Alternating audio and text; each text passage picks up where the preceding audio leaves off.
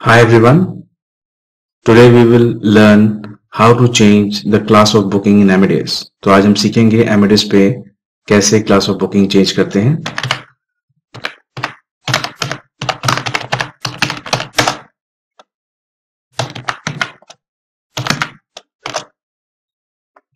So now we can see on Air India we have Yankee class. So Air India में मैंने Yankee class pick कर ली है Now suppose we want to change Yankee class to Mike class. So let's say we want to change Yankee to Mike. So the command will be SB. SB means should be. Now the the class that you want, जो class आपको चाहिए, वो class का वो mention करेंगे. So let's say M is the new class उसके बाद segment number after that we will put the segment number so इस फ़्लाइट का सेगमेंट वन है.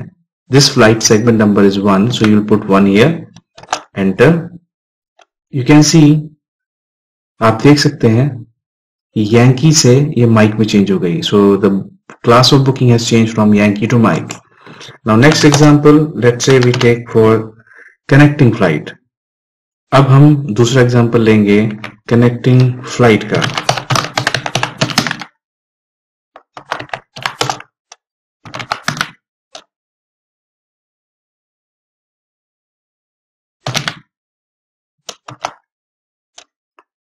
You can see it's Emirates from London to Delhi via Dubai. So ये Emirates की flight है London से दिल्ली जा रही via Dubai. Now let's say we want to change this Mike class to Yankee class. मान लीजिए अब इस माइक क्लास को हम Yankee में चेंज करेंगे तो the command will be should be the new class is Yankee and then the class of service which is that you have mentioned here Yankee. Now the segment number. अब यहां segment number दो flights हैं तो इनका segment one और to है So one hyphen two.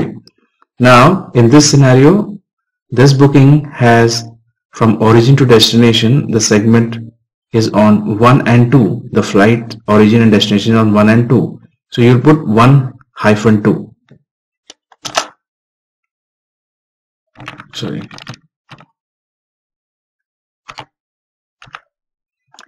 should be Yankee 1 hyphen 2 अब आप देख सकते हैं from Mike it has changed to Yankee hope this video was helpful and you might have liked it please subscribe my channel thank you